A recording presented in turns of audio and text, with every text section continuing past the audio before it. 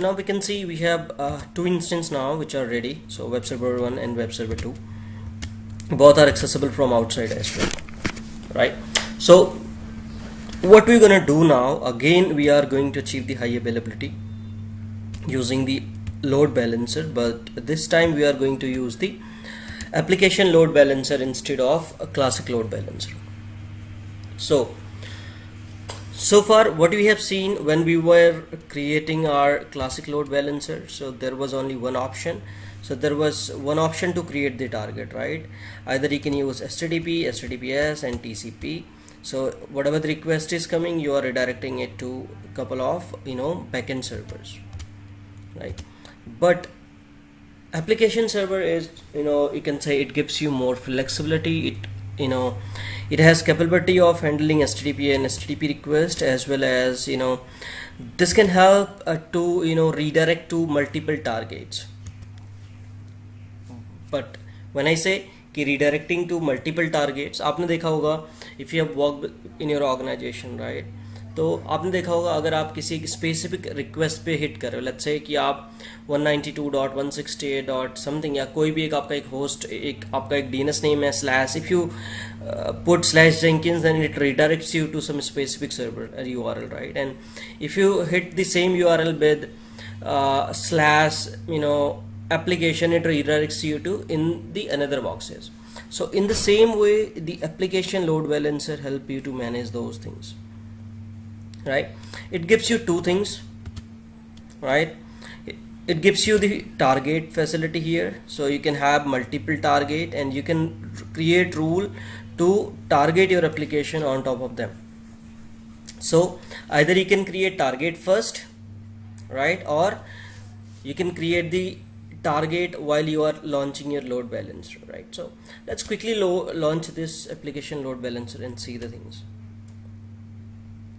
right so let's say I'm gonna give one name to this let's say I will give this name my name shaker to this load balancer right so first it gives you two options like which scheme you are going to use are you going to create create internal load balancer or a external load balancer so external load balancer means that is accessible from outside of the world right but internal means जैसे कि मैंने कल बताया था कि आपके internal load balancer भी हो सकते हैं which load balance your application और your database and something right तो we are going here with the internal load internet load balancer at this moment right and here are you going to take both the dual stack IPv4 and 6 so we're gonna go with the IPv4 at this moment only right so if you scroll it down you will see here load balancer right? Load balancer protocol. Which protocol you are going to use? At this moment I am going with the HTTP so we will also see how we can configure the HTTPS later on right?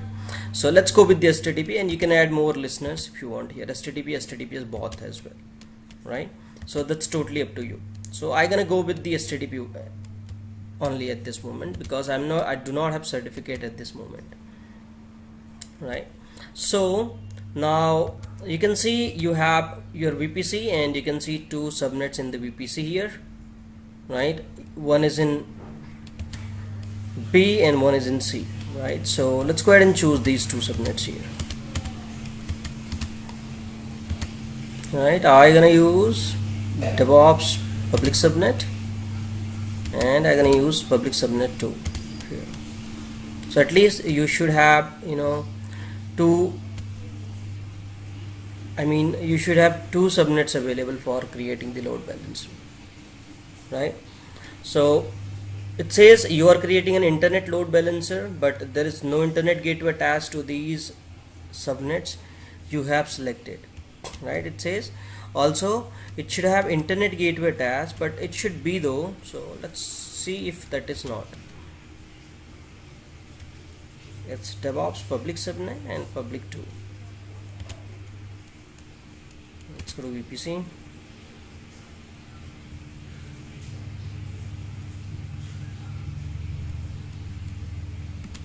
let's go to subnet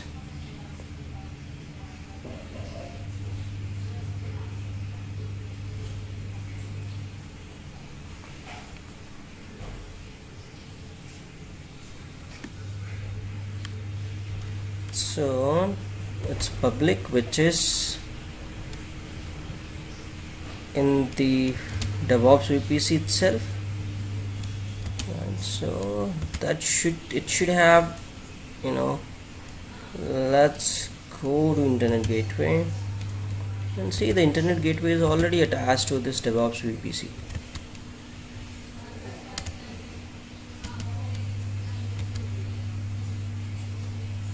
so that's this is the DevOps VPC by default which is attached. So let's ignore this right it says B4 this is the 67 B4 but 67 B4 was also the part of 67 B4 is the part of this VPC only. See what rule says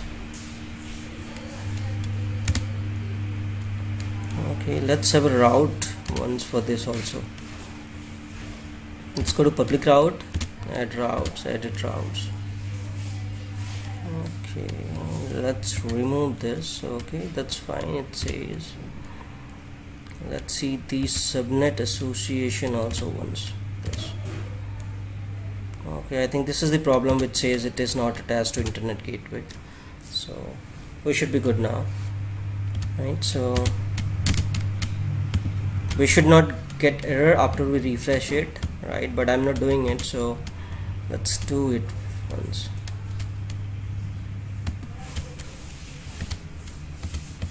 Let's give it a refresh.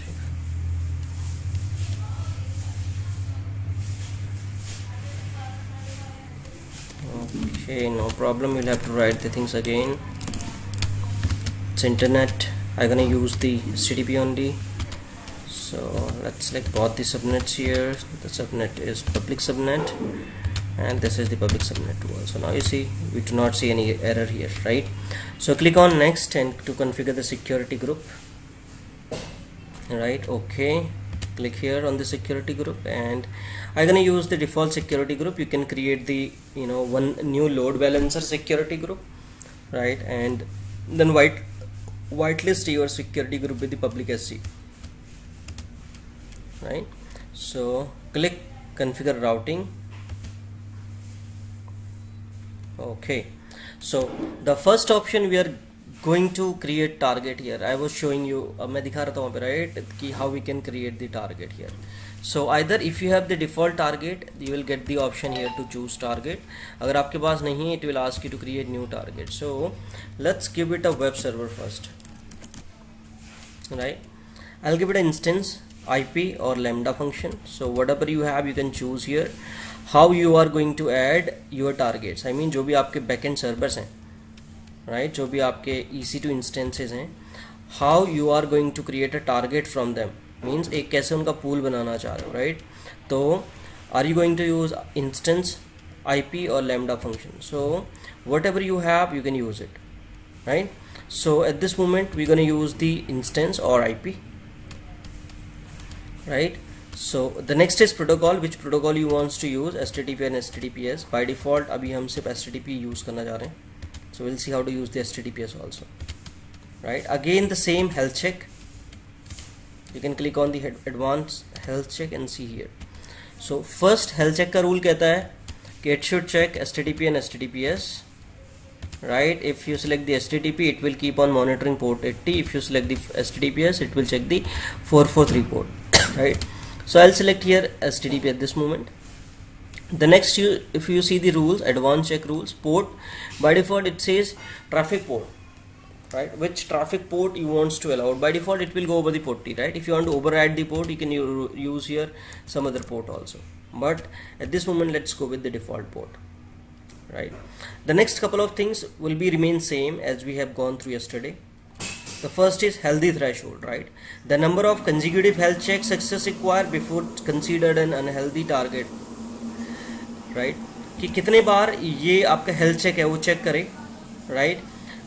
कितनी threshold हो उतनी threshold के बाद these instances should be unhealthy in the load balancer right the next is unhealthy threshold right the number of consecutive health check failure required before considering a target unhealthy कि कितने आपके unhealthy check failure हों उसके बाद आपके target को unhealthy declare कर दिया जाए right the next is time out the amount of time in a second during which no response mean a failed health check means कितने सेकंड में ठीक है कितने थ्रेश के बाद कितने सेकंड में अगर आपको if you are not getting any response it should declare it healthy I mean you know uh, unhealthy. Again the similar thing interval right?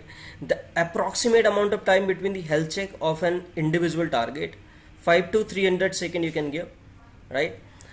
That means the approximate amount of time between the health check of an individual target. If you have any individual target so how many second after how many second it should declare it as a you know faulty and something. The next is success code right? The http code to use when checking for successful response from the target. Right? You can specify multiple values here. Example 200 202 or range. Right? Success code means whenever you are hitting any url right? It is giving in success code. Either 200 it's success. 202 it's success. 203 uh, sorry 303 is basically redirection. 404 is you know page not found. So we have such kind of success code right? So by default which code you select here that you know it finds its success. So by default it is 200 so you can go with this with the default one right? If you want to add more you can give the comma and you can put them here right? So the next is once you are done with creating your health check right you'll have to go to register target right? At this moment you will see there is no target. So if you drag it down right you will see the instances here right? So how many instances you want to add to this target? Let's say you have only two web server at this moment and the both the two web server you would like to add in this target. And you can see all the specification that you have specified. Go ahead and click on create. And now your load balancer has been created successfully and close it. Right. So you can see the load balancer name is Shaker right? And it has got one DNS name Shaker hyphen this dot amazon.com right? Still you know the state is provisioning it's in progress and this is the VPC in which it has been created. And these are the availability zone that are being used and this is the application load balancer and this is the creation time and monitoring is also enabled here right? So the same you can get the detail from the description here. Right if you want to add it some IP address types you can go ahead and do it. If you want to use the dual again you can edit it from here. Right if you want to edit subnets if you want to add more subnets even you can do it from here. If you want to add remove and change security group you can do it from here itself. Right so the next is listener. Right you can see one listener has been created here which is called rule which says your request which is uh, will show you that also. Let's click here in the edit section. And this rule says whatever the request is coming from 80 and request forwarded not routed and then it should be forwarded to the web server right? It says if requests are coming over the 80 port then it should be redirected to 100% on these web server targets. Right? So that's fine. I'll go back and we will go deeply on those again. Here is the monitoring section with you know which keep which helps you to monitor your target response how what is the response time you know how much response time it is taking how many requests are coming. All the rules are here so you can you can get the things from here. You can go to the integrated service also. We have not integrated anything. If you want to add some accelerators and you know some web ACLs you can add from here right. So let's go back again and jump on the target now. Right. Now you will see one target has been successfully created here right? So if you click here in this target right it says one moment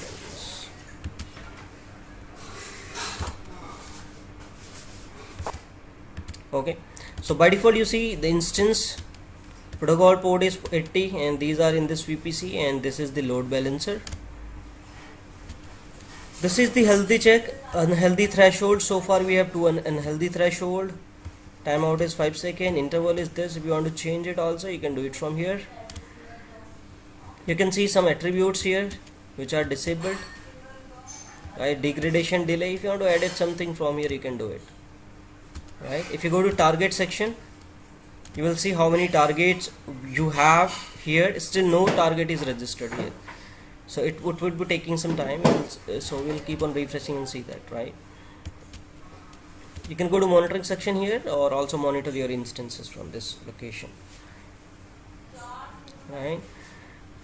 So let's go back again to the load balancer and see. It says provisioning is active at this moment and now if this is active that means it you know the instances should come in the target now. So let's navigate to target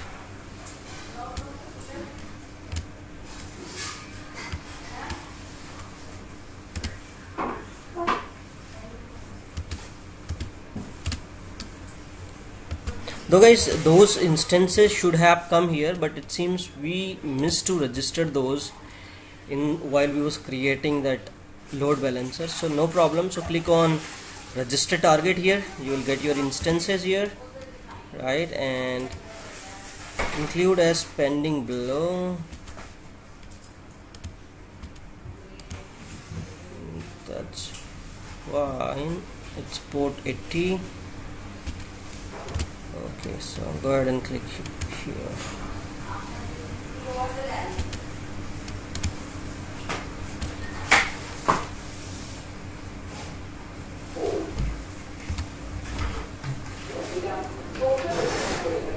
Let's go to target section again.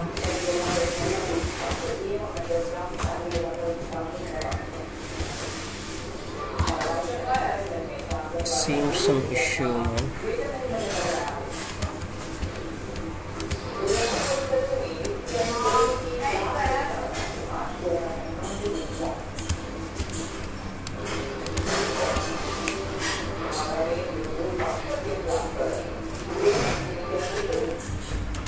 though it should have come automatically but I'm not sure why this is not coming. Select the instance specify port and then instance to the list of pending target repeat to add the additional combinations of instances and port to the list of pending target. Once you are satisfied with the selected the register pending target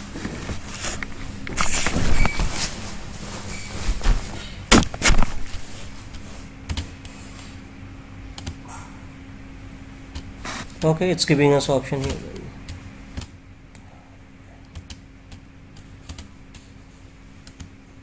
So now you can see both the instances are healthy right?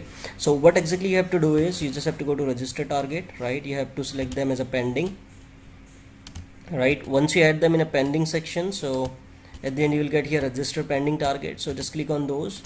So you will see them in the by default you know they will add it to the load balancer now so what the instances are healthy now right? So let's go to the balance load balancer again and get the load balancer URL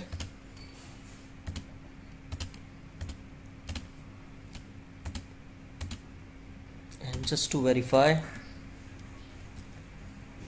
so you can see the request is in the web, web server 1 at this moment.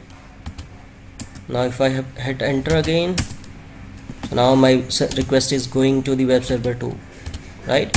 Even if any of my web server goes down then you know my request will keep on serving from the load balance right? The another thing I have told you if you want you know this you know load balancer to map with your domain name so you can go to godaddy.com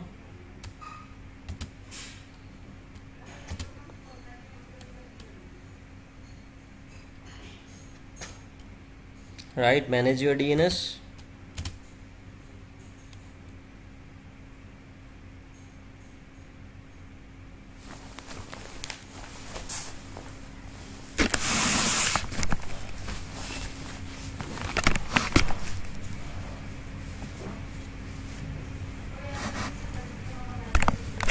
right? So this is the cname record right? Because this is the canonical name we are going to give to this url right? That's what we are at using the canonical name here. I would use uh shaker dot and we'll point it to this right? And you can give the detail here. Okay just remove this http and save this now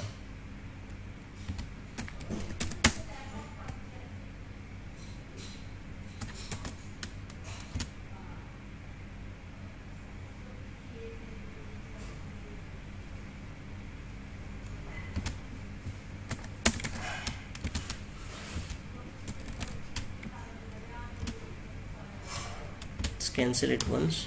See if it has been added here. Okay the same canonical name was there maybe that's the issue.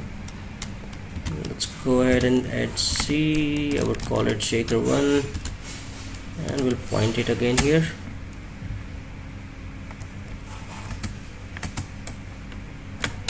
So you can buy your GoDaddy account if you want and you know you can go to like your DNS watch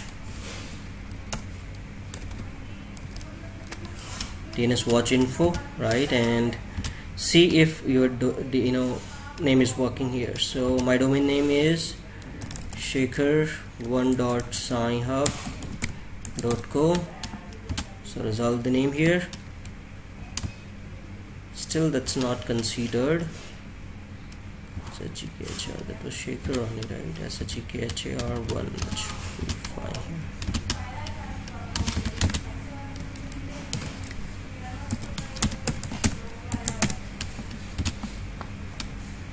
you can see now this has been mapped here successfully with this load balancer URL right now you are good to like shaker1 dot dot co.